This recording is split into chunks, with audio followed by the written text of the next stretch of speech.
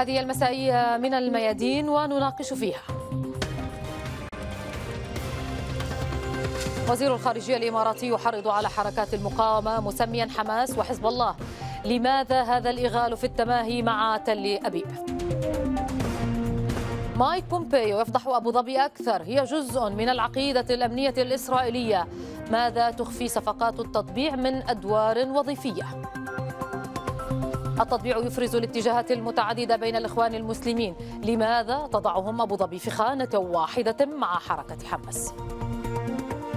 مرحبا بكم المطبعون يطلون برؤوسهم مجددا من بوابة التحريض هذه المرة. وزير الخارجية الإماراتي عبد الله بن زايد يشن حملة على حركات المقاومة ويأسف لخطاب الدول نحوها.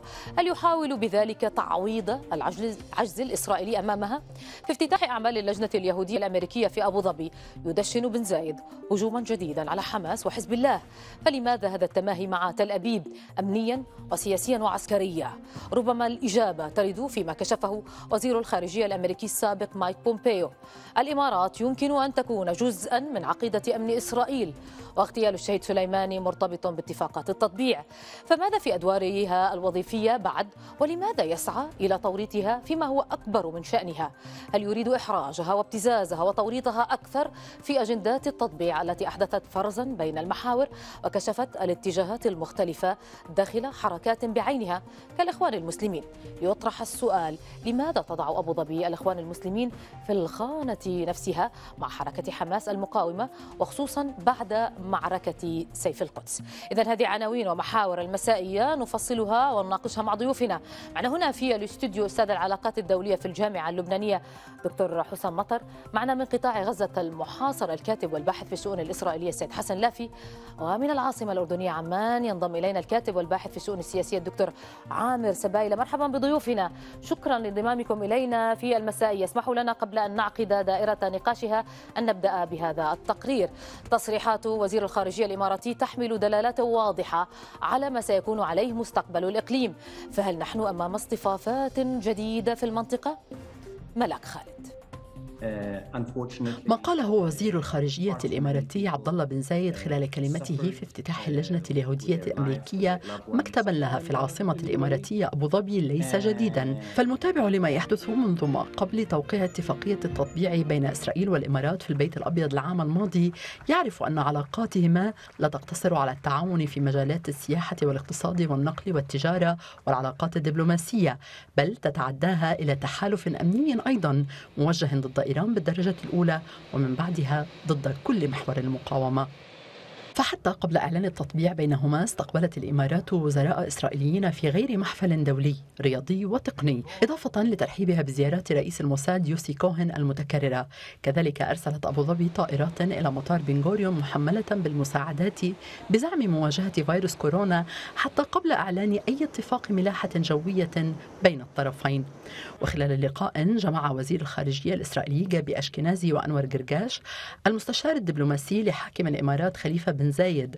بعد قمة دافوس في قبرص قبل شهور نوقشت التحديات التي تشكلها إيران وحزب الله على استقرار الشرق الأوسط والسلام الإقليمي إضافة إلى ملفات في العلاقات الثنائية بين الطرفين. حينها قال جرجاش أن الروابط مع إسرائيل ترقى إلى مصاف نظرة استراتيجية بديلة لوجه الشرق الأوسط المتغير. والآن يأتي تصريح وزير الخارجية الإماراتي ليوضح قصد بلاده بتغيير الشرق الأوسط. هو يتحدث عن تغيير العقليات وبنظره هذا يعني عدم وجود مقاومة لإسرائيل. توقيت التصريح بعد العدوان الإسرائيلي الأخير على القدس وغزة ومكانه من قلب العاصمة الإماراتية يقولان الكثير عن استعداد الإمارات للذهاب بعيدا في شراكتها مع المحتل أمنيا. كان محللون وسياسيون إسرائيليون وإماراتيون قد تحدثوا سابقا عن التواصل في المجالات الاستخبارية والتكنولوجية والأمنية بينهما ولكن هذا التصريح يقولها صراحة إننا مقبلون على مرحلة إقليمية جديدة تبدل فيها شكل التحالفات والعلاقات إما مع المقاومة أو ضدها أي مع إسرائيل. والأكيد أن أبو ظبي قد اختارت في أي ضفة ستقف. مرحبا من جديد بضيوفنا. أبدأ وإياك دكتور حسام مطر. الكلام والتحريض الذي استمعنا إليه من وزير الخارجية الإماراتي عبد الله بن بن زايد باتجاه حركات المقاومة لا سيما حزب الله وحركة حماس. إذا يعني دققنا فيها تبدو وكأنها تصريحات قد تسمعها من بنيامين نتنياهو من أشكنازي آه، من جانتس ويعني من تصريحات لمسؤولين سياسيين أمنيين عسكريين إسرائيليين. هذا هل يحمل مفاجأة أن يكون من وزير الخارجية بهذا المضمون الإماراتي؟ وما الذي يخف يقف خلف مثل هكذا تصريحات؟ يبدو التماهي إلى أبعد أبوابه أوسع أبوابه بين الإمارات وإسرائيل. لماذا؟ يعني يبدو هي رسالة إماراتية أنه رغم معركة سيف القدس وكل نتائجها وتداعياتها وما قيل أن هذه ضربة لمسار التطبيع تحاول الإمارات القول أن المسار الذي بدأ مع ترامب لن يقف بوجه شيء وهذا المسار التطبيعي هو خيار استراتيجي للنظام في الإمارات وهي مستمرة به. خلفيات هذا الأمر هي أن الإمارات تريد أن تكون تكون الوكيل الإسلامي الجديد في المنطقة. هي تعتقد أن الغربيين خسروا إيران مع مع الثورة الإسلامية وتعتقد أنه مع أردوغان هم خسروا تركيا أيضا الدور التركي والدول العربية تقليدية منكفئة وبالتالي الإمارات تريد تقول للغربيين أنا الوكيل الإسلامي اليوم أقدم نسخة محايدة سياسيا للإسلام نسخة روحية غير مسيسة آه، قابل قابلة وقادرة على التكيف مع المشروع الغربي في المنطقة. وهذا المشروع الغربي قوامه آه، التطبيع مع إسرائيل. وبالتالي النظام يعتقد أن في البحرين أن مصلحته هي التموضع في هذا المحور الغربي في المنطقة التي إسرائيل جزء منه لمواجهة من يعتقدهم أنهم تهديد محتمل بالتحديد بإمارة أبو ظبي مع آه، بن زايد.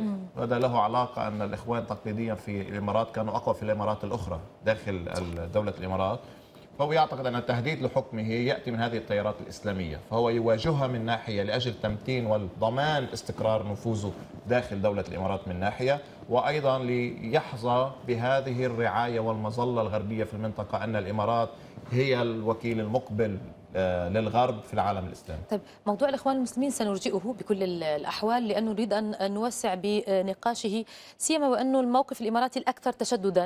ان صح التعبير بالتعاطي مع الإخوان المسلمين ووضعهم كلهم في خانة واحدة، لكن هذا سنرجئه وسنركز على الموضوع الخاص بحركات المقاومه وإن بدأ فيه نوع من التداخل. دكتور مطر، اسمح لي فيما تفضل بطرحي أن احيله للسيد حسن لافي، نقاط طرحها دكتور لافي آه، سيد لافي دكتور مطر هنا مهمة لجهة بأنه تقدم نفسها الإمارات على أنها الوكيل الإسلامي الأكثر مقبولية للمشروع الغربي. ترى الأمر بهذا الاتجاه. هل نحن اليوم أمام توريط للإمارات أم أنه استبيان أكثر لحقيقة الدور الوظيفي لها؟ هذا بالأساس ما دفع أن نرى التطبيع من الخفاء إلى العلن. لكن توقيت تصريحات وزير الخارجية في توقيت سيف القدس أيضا كيف يفسر برأيك؟ أنا بالمناسبة لأنها هي التي ملفتة للنظر آه، وتستدعينا للتحليل. آه، من أهم يعني نتائج وتداعيات معركة سيف القدس هي إثبات فشل التطبيع أنه هذا المشروع الصهيوني لا يمكن التعايش معه نهائيا. حتى يعني فلسطينيين الداخل عام 48 الذين قبلوا أن يكونوا سكان في هذه الدولة آه، لا يوجد لديهم حقوق. حتى الحقوق المدنية غير ما لم يعطوها لأن هذه دولة دولة اليهود دولة الابارتايد في هذا التوقيت بالذات يأتي آه، آه، آه، يعني وزير الخارجية الإماراتي. أنا أعتقد أنه يريد اولا تصفير نتائج السياسية لمعركة القدس من قبل فصائل المقاومة مقابل الشعب الفلسطيني الذي الذي خاض هذه المعركة وأحرج المشروع الصهيوني بالكامل وأحرج من يقف مع هذا المشروع الصهيوني. أو حلفائه سواء المطبعين العرب أو حتى الولايات المتحدة الأمريكية. فهو يريد إخراج الفصائل الفلسطينية والشعب الفلسطيني صفر اليدين دون تثمير سياسي. لذلك هو يشيطن المقاومة الفلسطينية ويسير في نهج التطبيع حتى وإن أثبتت آه، آه، المعركة أن التطبيع مشروع فاشل لا يمكن نجاحه وأن الشعوب العربية ما زالت حية. الأمر الثاني هو يتماهى ليس مع المشروع الغربي هو يتماهى مع المشروع الغربي المتطرف.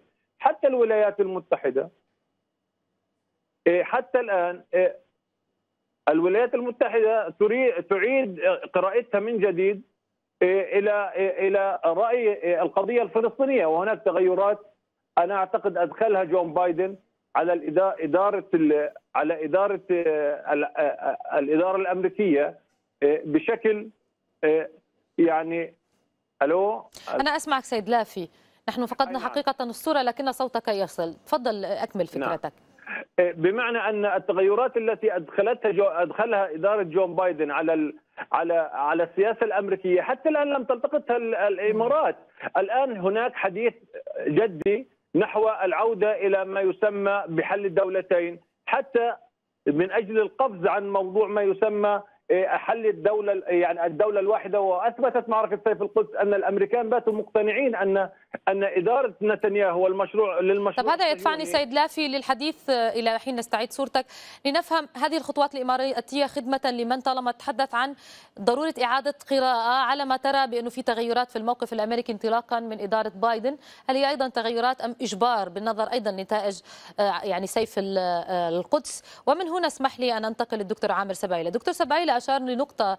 سيد لافي ألا وهي محاولة تصفير نتائج سيف القدس؟ وهذا يعني يدفع للسؤال هل الإمارات تمتلك ذلك الدور فعلا؟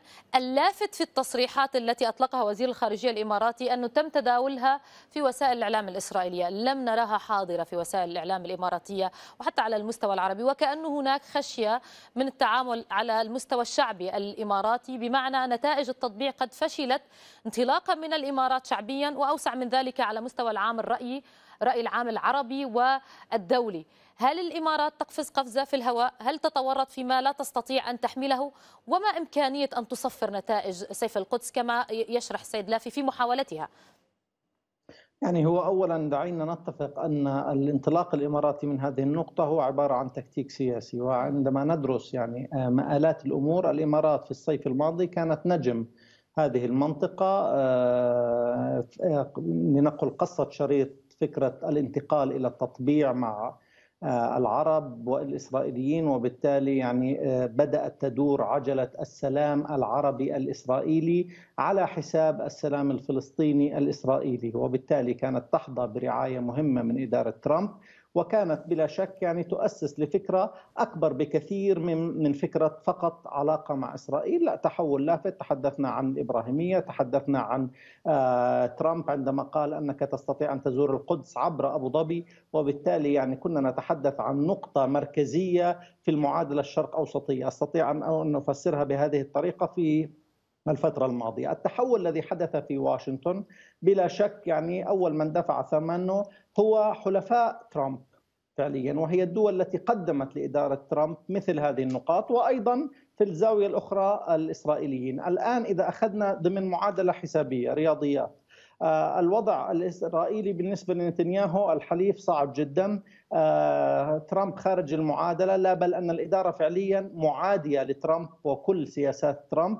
إذا نعود إلى نقطة آه، المعركة التي حدثت سيف القدس مآلاتها ظهور حماس مجددا البحث عن حالة من الزخم السياسي على المستوى العربي آه، تسويق رواية أنه لا يمكن أن تقفز عن السلام الفلسطيني باتجاه السلام العربي يجب أن نعود إلى هذا المربع. أثبتت حماس أنها لاعب أساسي لا يمكن القفز عنه. إذا نتحدث اليوم عن معطيات.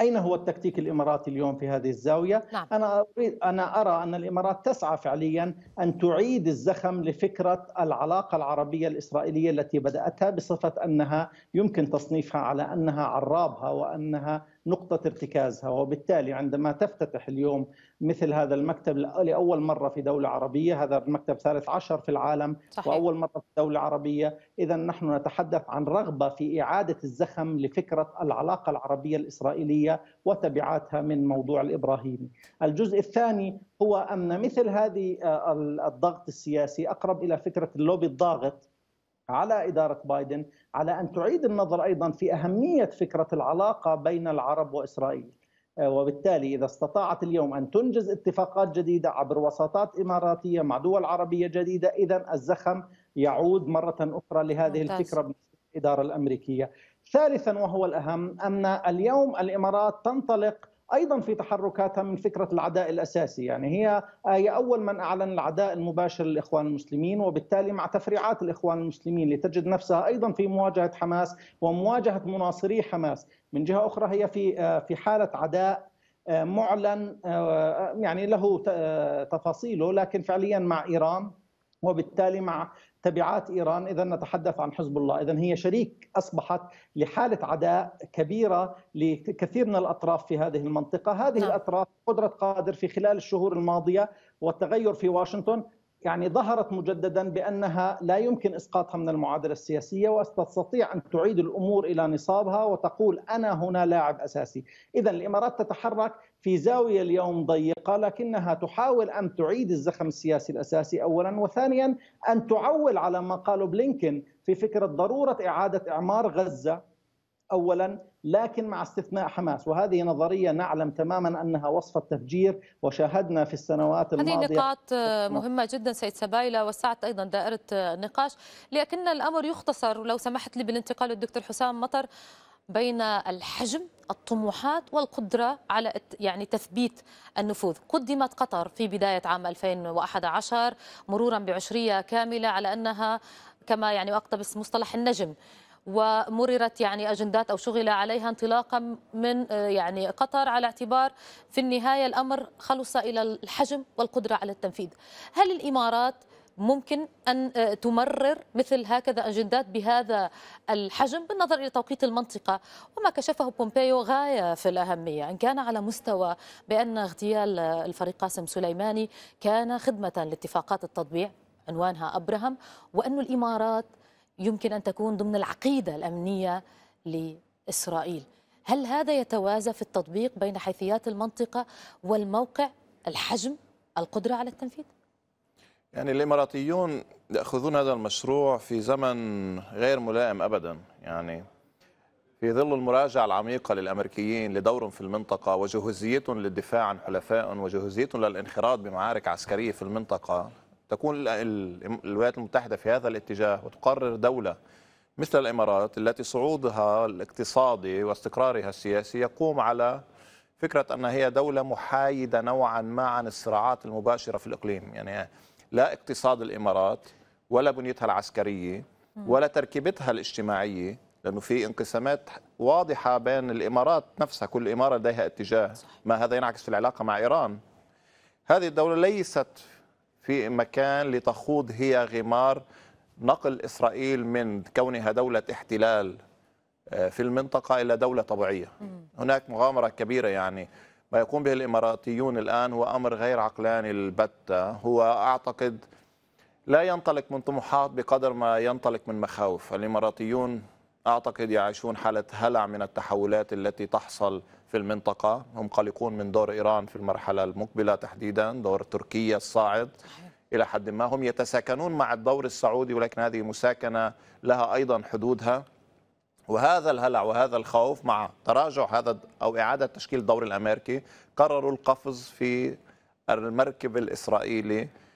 وهذه مغامرة لنفس الإسرائيليين اليوم. هم أيضا مربكون. ف في شيء من الغير عقلاني في السلوك الإماراتي، هناك مقدار عالي من المغامرة. آه، وخاصة أن المشروع الإسرائيلي يستمر في عدائيته تجاه دول المنطقة وشعوب المنطقة. يعني ممكن افهم المغامرة الإسرائيلية باعتبار الإسرائيليين اليوم كاقتصاد كنظام دفاعي كنظام أمني كنظام عسكري علاقاتهم في العالم تسمح لهم إلى حد ما عندهم نوع من الحصانة الدفاعية نسبيا. لكن في كل هذا المشروع الإسرائيلي الخطير في المنطقة تنضم الإمارات لتكون جزء منه وهي غير محصنة بل مكشوفة انكشاف تام مع جوارها لدولة مثل إيران مع حضورها اليوم في اليمن. هذا يعني أنه بسهولة كبيرة جدا يمكن تعريض يقوم اذا يعني القاعدة التي تسير فيها الان الإمارات؟ لأنه قدم في نوع من قراءة البراغماتية إن صح التعبير للإمارات أبرزها في اليمن كونك ذكرتها دكتور. فيما خرج أيضا من تصريحات بل تهديدات أيضا يعني من زعيم حركة أنصار الله بأنه هي دولة من زجاج صحيح. يمكن يعني التأثير بها وعملية الاقتصاد إذا بناء على هذه العوامل التي تتسع إلى دائرة المنطقة ما هي القاعدة التي يمكن البناء عليها لهذا الموقف؟ حتى رأى السلوك السعودي عمل تكيف مع الواقع الحالي وفتح حوار مع الإيرانيين. المصريين عم يحكوا مع الأتراك وهي الدول الحليفة للإمارات.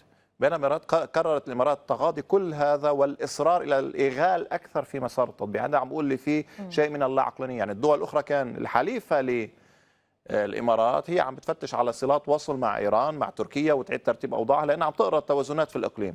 لذلك عم بقول السلوك الإماراتي سلوك غير عقلاني. يعكس أن صناعة القرار في الإمارات هي ضمن دائرة مغلقة ولا تخضع لنقاش جدي في المؤسسات داخل الإمارات ولأن هناك احتكار لصناعة القرار من الإمارات من قبل إمارة أبو ظبي.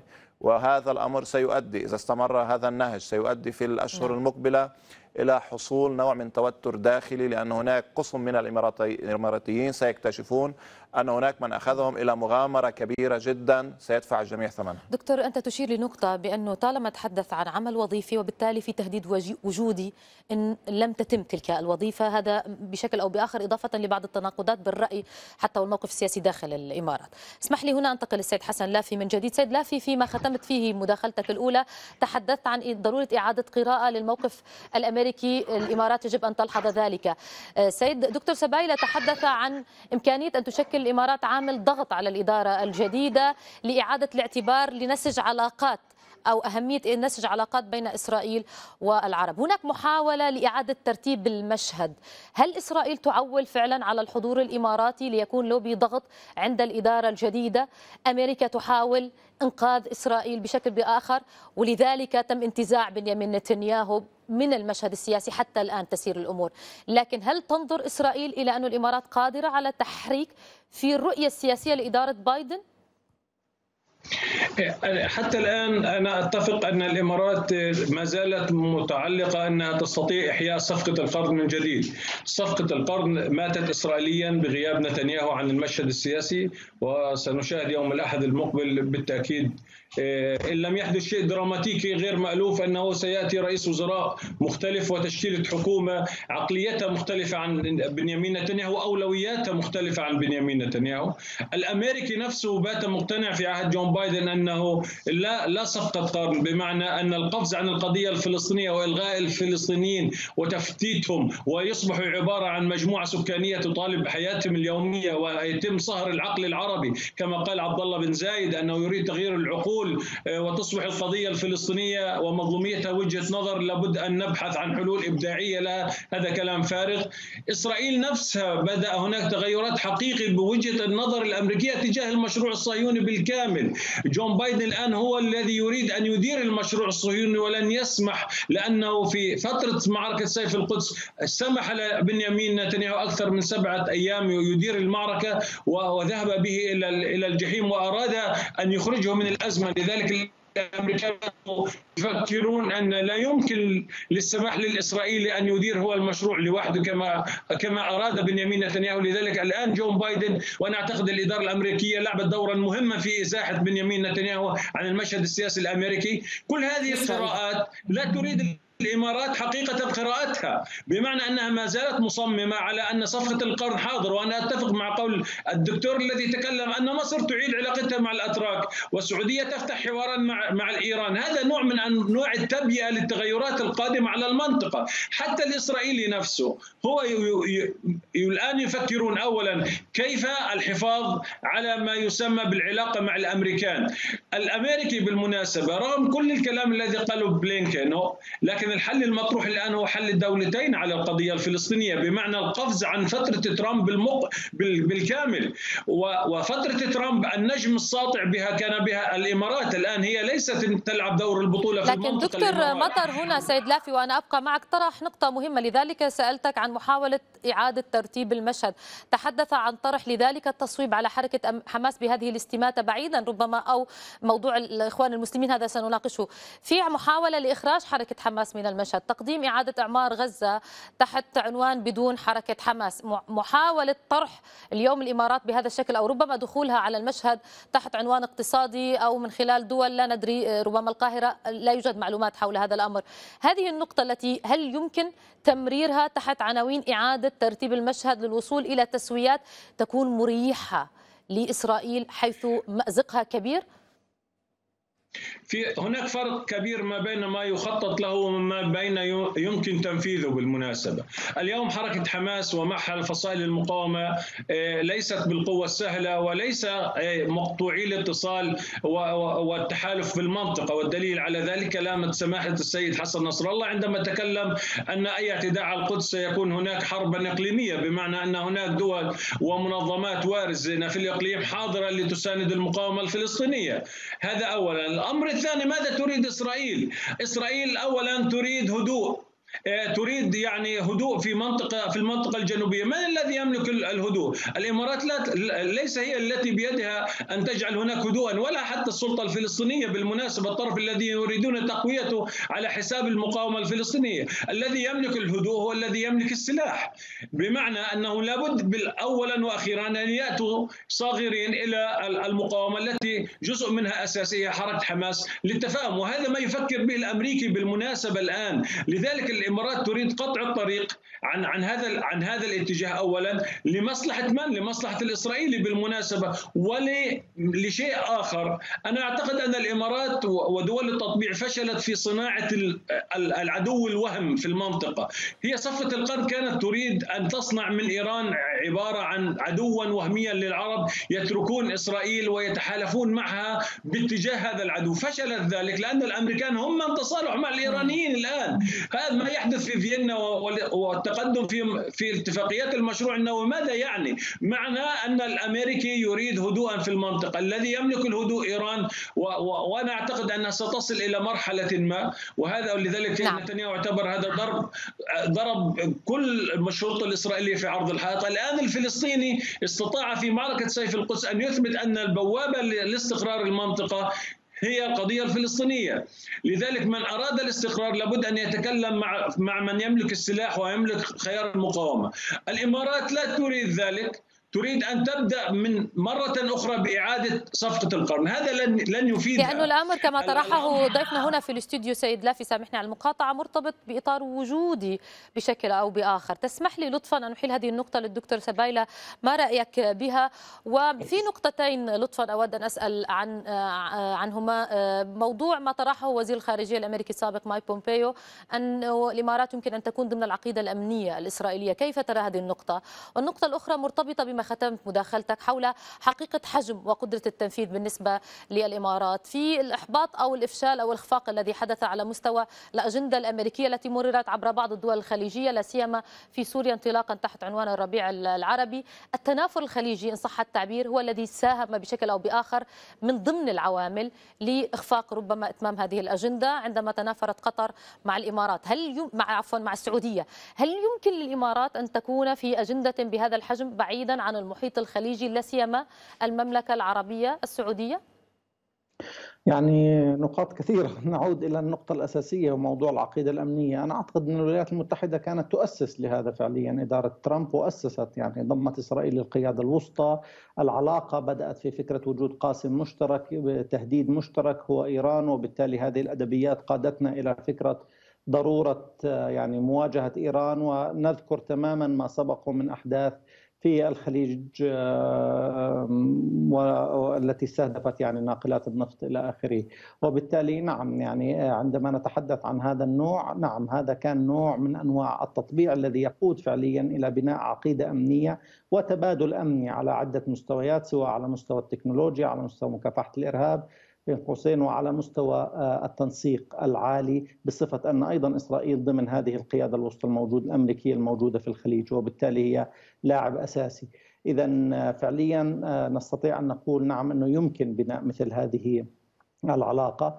الجزء الثاني هو موضوع الإمارات وقدرتها على التأثير يعني هذا موضوع القدرة على التأثير نسبي. أولا دعينا نتفق أن الإمارات اختارت كل هذه المواجهات واختارت أن تكون في كل هذه السيناريوهات. يعني هي في النهاية إذا أردنا أن نحسبها يعني فعليا هي لم تكن مضطرة أن تذهب إلى كل هذه الملفات السياسية الشائكة سواء بدءا من مصر آه، ومن ثم أخذتها إلى ليبيا إلى اليمن إلى آخره. وبالتالي هي وجدت نفسها اليوم مضطرة أن تدافع عما بدأته لكن هو كان خيارها فعليا أن تخوض وتنخرط في هذه المنطقة بكل هذه الملفات الشائكة مع عدم وجود خبرة سابقة في هذا الموضوع. يعني الإمارات كانت هي عبارة عن سياسة ناعمة سياسة بناء التوافقات تستطيع أن تتحدث مع جميع الأطراف. هذا كانت سياستها في اليمن في عدة دول وبالتالي هي انتقلت لا لأن تكون آه، مبادر وأن تتبنى آه، رؤية أكثر عنفا في في محاولاتها لتطبيق رؤيتها وإزالة منافسيها وأعدائها. الآن هي قدرتها على التأثير؟ أنا أعتقد لا. يعني قدرة التأثير اليوم في هذه المرحلة على الأقل قد تكون مع كل هذه التحديات وكل هذه الأولويات. هذه الإدارة الأمريكية منخرطة بشكل كبير في ملفات حلف شمال الأطلسي في ملفات ترتيب حلفائها الأوروبيين في مواجهة آه، روسيا في موضوع الحديث آه، ومواجهة شاملة مع الصين، إذا يعني الشرق الأوسط نفسه اليوم كله أقل أولوية، يعني آه، هذا الرغبة الإماراتية اليوم بحاجة إلى إسرائيل قوية تستطيع أن تؤثر على الإدارة الأمريكية حتى تعيد ترتيب هذه الأمور وتضع الملفات التي كانت حاضرة في الفترة الماضية على رأس الأولويات، أنا أجد أن هناك صعوبة إلى الآن للحديث عن هذا الموضوع، وإذا نظرنا لكيفية التحولات الأخيرة هي تحولات الأمر الواقع. نعم. وبالتالي اليوم تريد غزة لا تستطيع أن تتحدث مع غزة دون حماس. يعني دعينا نتفق. هذه خزعبلات. ورأينا في زمن الرخاء عندما صرفت أكثر من 600 مليون على بناء قوات دايتون وقوات أخرى وانتهت في ليلة يعني آه، كلها. وبالتالي اليوم لم لم تعد مثل هذه الأفكار قابلة للطرح اليوم، اذا سنسير بلا شك باتجاه البراغماتية السياسية ومحاولة توظيف، الولايات المتحدة تحدثت في نهاية الأمر مع طالبان، تحدثت في نهاية تعود وتتحدث مع إيران، تتحدث مع خصومها التي عادتهم في حروب. وبالتالي يعني ان أن نقتنع اليوم أننا نستطيع أن نؤثر على هذه الإدارة ضمن هذه الأولويات المختلفة. أعتقد أنه صعب. ثانيا الجزء الثالث وهو تفكيك فكرة التحالف الكبير، يعني هناك نقطة مهمة أنه عندما بدأنا في حرب اليمن كانت الكتلة الخليجية تقريبا واحدة، صح. كانت مصر جزء أساسي آه، من هذه المعادلة على الأقل على المستوى السياسي. اليوم نجد أن هذه الكتلة تفتتت فعليا بسبب تغير المصالح وبسبب حجم الضرر وبالتالي الأولويات بالنسبة للسعودية هي مضطرة للتغير في التعاطي مع إيران لأنه في النهاية كل موضوع التحالف مع أمريكا لم يمنع آه، الصواريخ القادمة من اليمن نعم. أو الطائرات المسيرة من أن تضرب السعودية وهي تدفع الثمن وحدها عندما تتحدثي عن جزء آخر عن موضوع مصر في ككتلة وازنة اليوم مصر هي تريد أن تكون بوابة الحديث مع الإدارة الأمريكية هي قالت للإدارة الأمريكية فعليا تفضلوا وأنا الوحيد الذي أستطيع أن أقدم لكم قناة في غزة أن تعول علي في إعادة بناء غزة وأستطيع أن أنسج هذه التفاهمات في المقابل أنا أريد مكتسبات، المكتسبات أن لا نتحدث في موضوع حقوق الإنسان والديمقراطية وهذا كان فحوى أول مكالمة لبلينكن مع سامح شكري كما رأينا وانتهت في أن يتحدث بايدن مرتين مع السيسي آه، في أثناء حرب غزة. وهذا ربما خط الاتصال الساخن صح التعبير الذي فتح من البيت الأبيض إلى المنطقة كان عنوانه عملية سيف القدس. العمل المقاوم الميداني من غزة والموقف على مستوى يعني كل جغرافيا فلسطين نتحدث شعبيا الذي اتصل مع موقف في رأي عام عربي وعالمي. في تغيير في المعادلات في المنطقة. اسمح لي دكتور سبايلة أنا أعتذر منك لكن نريد أن نوسع النقاش حول وضع حركة حماس وحزب الله مع الإخوان المسلمين ككل ضمن ما توصفه بالحركات الإرهابية وتطالب أن يكون هناك معاملة. تحدثون عن الإمارات فيما قاله وزير الخارجية الإماراتي في افتتاح اللجنة اليهودية الأمريكية في آه، أبو آه، ظبي. سنوسع في هذه النقطة في وضعها في خانة واحدة. علما أن الإخوان المسلمين باتوا اليوم باتجاهات متعددة.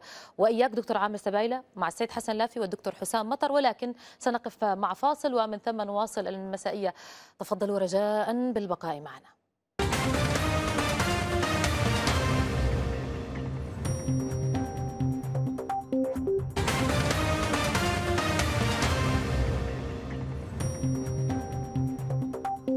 أهلا بكم من جديد في المسائية من الميادين. في مقال نشره في مجلة نيوزويك الأمريكية دعا المسؤول الإماراتي علي النعيمي إلى تحرير فلسطين من حركة حماس وإيران.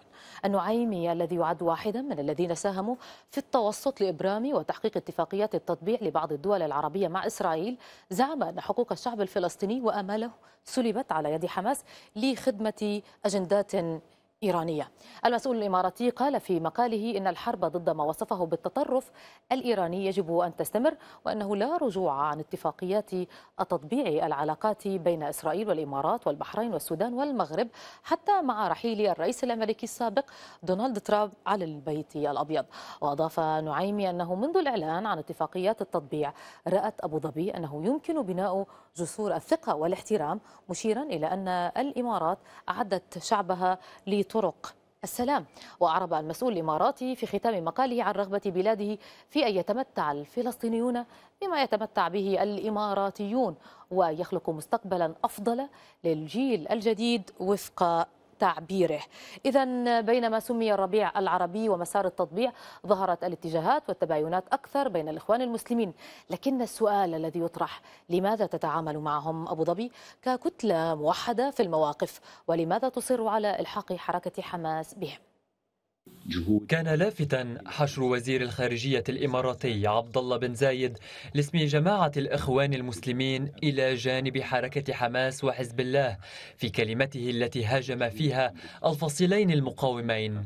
فحركة الإخوان المسلمين لم تعد ذات توجه واحد بل عصفت بها تحولات رافقت وتلت مرحلة ما سمي الربيع العربي.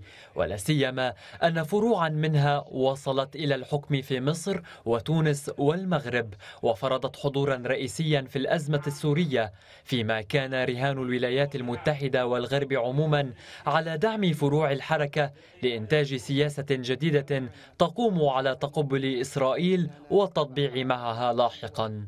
التمايزات بين فروع حركة الإخوان المسلمين في كل دولة أمر طبيعي لكنها مع صعودها إلى مراكز السلطة وضرورات تعاملها مع مشاريع مثل صفقة القرن وما تلاها من اتفاقيات استسلام شهدت تفرقا عميقا في المواقف والتموضع. في المغرب مثلا عاش حزب العدالة والتنمية إشكالية بين قناعاته ومتطلبات الحكم لم تمنعه من تمرير التطبيع مع إسرائيل. في تونس عطلت حركة النهضة في مناسبات متعددة تجريم التطبيع مع الاحتلال الإسرائيلي بالرغم من إبداء النهضة دعمها للشعب الفلسطيني ومناهضتها التطبيع. حكم الإخوان المسلمين في مصر تمسك بمعاهدة كامب ديفيد ضاربا بعرض الحائط تاريخ الحركة لتعود بعد فقدانها السلطة لترفض صفقة القرن الأمريكية ومندرجاتها.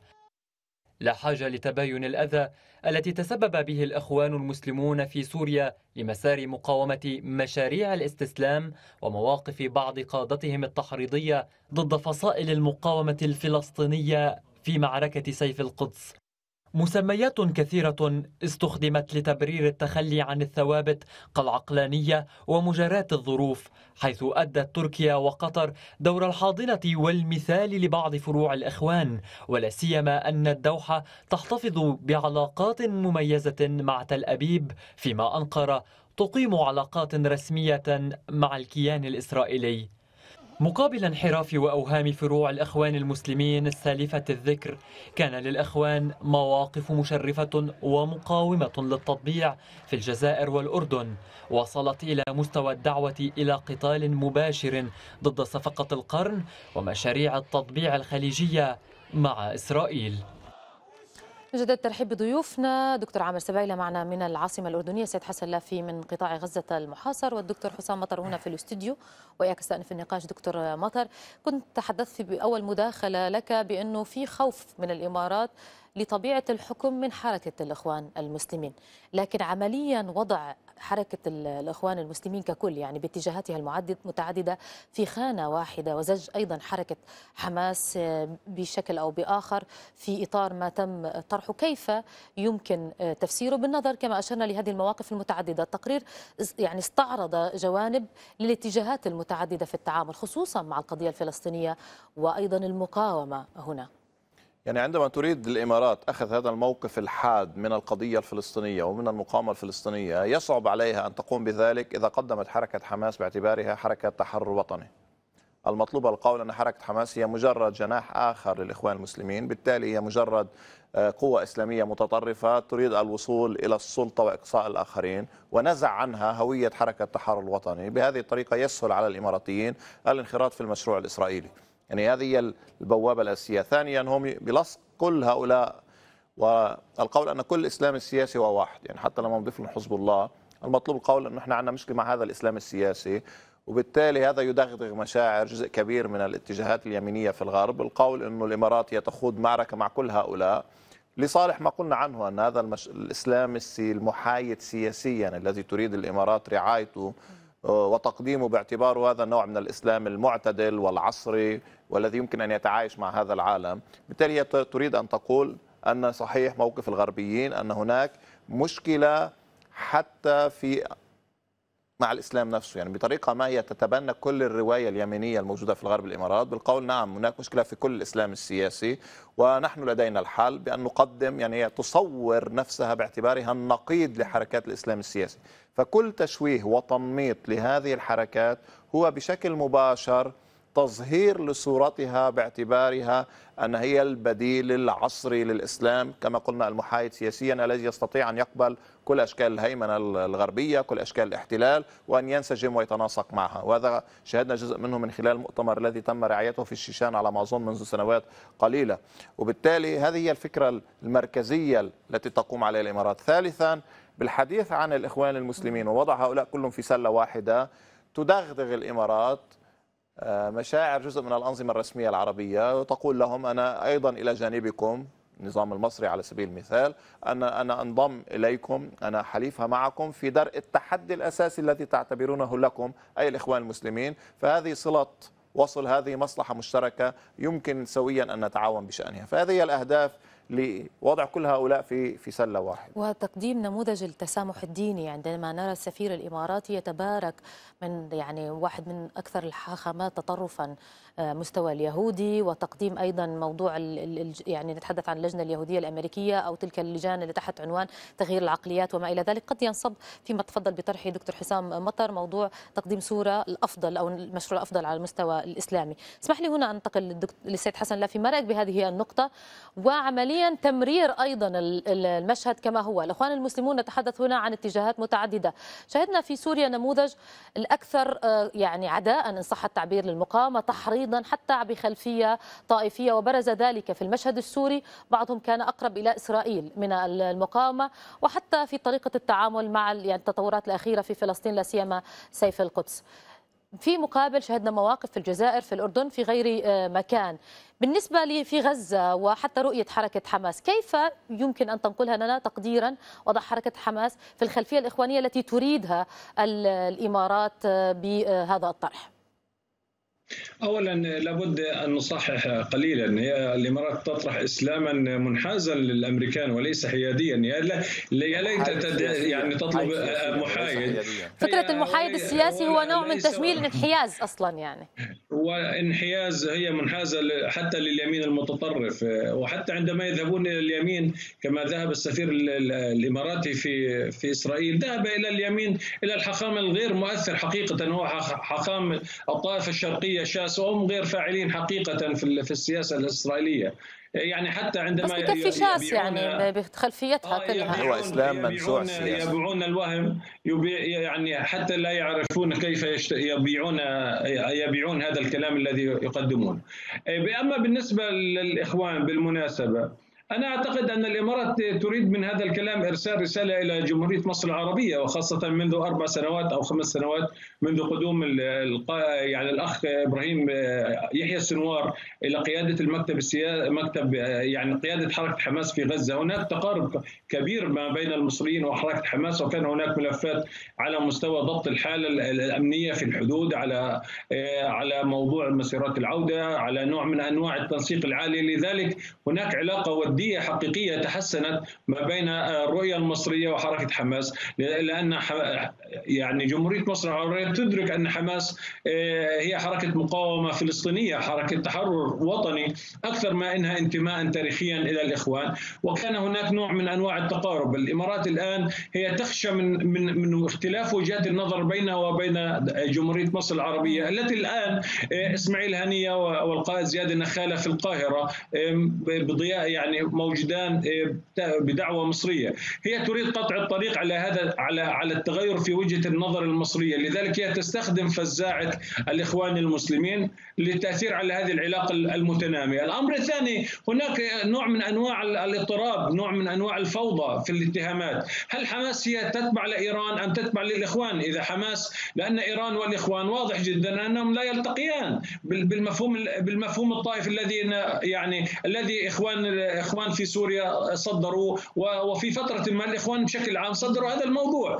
إيه، أحدهم يكتب في في في اللغة الإنجليزية في في الصحف الأمريكية أن حماس تخدم إيران وكأنه يريد أن يقول يا أيها يا الشعوب العربية الشعوب الإسلامية لا تنغر هؤلاء يعني تبع للإيرانيين وليس حركة تحرر وليس حماس بالمناسبة أنا لا أحب استخدام هذا المصطلح سنية لأنه الإسلام الشيعيه والسنيه لا طائفة في لا طائفية الكل مسلم. ولكن هم يريدون ذلك. بمعنى أن محور المقاومة يريدون حشره في زاوية الطائفية ورغم أن حماس والجهاد الإسلامي وكثير من الحركات المقاومة الفلسطينية هم سنيين. بمعنى ان أن الأساس في في محور المقاومة وليس محور طائفيا. ولا يمكن أن يجعل من ذلك أن العداء وبناء الوهم والعدو الوهمي إيران. وإلا لماذا هؤلاء السنة يتحدون مع إيران وحزب الله؟ نعم. بل هو نوع من أنواع استهداف القوى الفاعلة في في العالم العربي وخاصة بعد معركة مثل سيف القدس التي الكل تفاجأ أن المقاومة الفلسطينية تستطيع أن تضرب تل أبيب البقرة المقدسة ب 140 صاروخا نعم. في خمس دقائق بمعنى أنها أن تحول مدينة مثل عسقلان تعتبر خامس مدينة في دولة الاحتلال إلى مدينة منكوبة بقرار من من الحكومة وباعتراف من الحكومة الإسرائيلية هذا الكلام لا تريد الإمارات لا تريد الإمارات أن يكون حاضرا في الذهنية العربية التي تريد تغيير العقلية بالمناسبة، لابد أن نقف عند المصطلحات التي استخدمت في في خطاب عبد الله بن زايد، يريد تغيير العقليات بمعنى صهر الوعي العربي، إسرائيل قابلة للهزيمة. هذا ما قالته سيف القدس، عندما طيب. مجرد التلويح مجرد التلويح بأن آه، آه، خروج مظاهرات في الأردن على الحدود الفلسطينية المحتلة عام 48 ولبنان وتهديدات سماحة السيد حسن نصر الله وتكاثف الجبهات الفلسطينية في معركة واحدة إسرائيل باتت تدق ناقوس الخطر الوجودي طيب اسمح لي سيد لافي لأنه الوقت شارف على الانتهاء أريد أن أسمع رأي دكتور عامر سبايلة بهذه النقطة. تحديدا بالنظر أنك أشرت تم محاولة استخدام العصب العاطفي إن صح التعبير في في محاولة ضرب هذا الالتفاف الشعبي لا سيما خلف المقاومة في عملية سيف القدس. دكتور سبايله ما رأيك بما تم طرحه في محاولة لتقديم نموذج مختلف على المستوى الإسلامي يراد ضرب فيه المقاومة تحت عنوان تحميلها مشروع الإخوان المسلمين ككل رغم أنها باتت في اتجاهات متعددة وذكرنا كثير من الأمثلة. ما رأيك؟ يعني هو بلا شك يجب أن نسأل السؤال الأبرز، لماذا تخوض الإمارات حرب على الإخوان المسلمين؟ الاماراتيين يقولون أنهم كانوا مستهدفين في الربيع العربي وأنهم اكتشفوا أن هناك خلايا إخوانية متجذرة وكانت تريد آه، أن تنتقل في الإمارات وتحويلها إلى ساحة مواجهات وبالتالي حتى تصل إلى سيناريوهات أخطر وبالتالي اعتبروا ان اليوم الحرب عقائدية أيديولوجية ومن ثم انتقلوا إلى المرحلة الثانية هي أن أذهب لضرب الإخوان المسلمين قبل أن يأتوني وبالتالي انتهى بهم الأمر نعم. اليوم أن يكونوا مضطرين لتقديم نموذج بديل. هذا الإخوان المسلمين هو الذي صاغ أيضا الثقافة الإسلامية في الخليج. يعني العلمانية لم تكن حاضرة ولم يكن لها مجال أن أن تحضر. يعني آه، في الخليج ليس له هناك بنية لها. اليوم هم مضطرين أن يقدموا نموذج. هذا النموذج يأتي عبر حسابات سياسية باعتقادي وليس يعني دينية. آه، عندما تتحدث عن التحولات منذ سبتمبر الحادي عشر من سبتمبر إذا هناك إرهاب إن بحاجة إلى طرح إسلام جديد. آه، إسلام آه، بعيد عن السياسة يركز على الجانب الروحي إذا هو متصالح. ومن ثم محاولة ربطه نعم. في فكرة الديان إلى آخره فهو مضطر أن يقدم هذا النموذج. ومن ثم سيجد نفسه في حالة عداء مع نموذج آخر. شكرا جزيلا لك دكتور عامر سبايل الكاتب والباحث في الشؤون السياسية ضيفنا من العاصمة الأردنية عمان. سيد حسن لافي الكاتب والباحث في الشؤون الاسرائيليه ضيفنا من قطاع غزة المحاصر. شكرا جزيلا لك دكتور حسام مطر أستاذ العلاقات الدولية في الجامعة اللبنانية ضيفنا هنا في الاستديو. جزيل الشكر لك. من جديد شكرا لضيوفنا ولمشاهدينا المسائية. انتهت دائما للمزيد الميادين دوت نت. إلى اللقاء.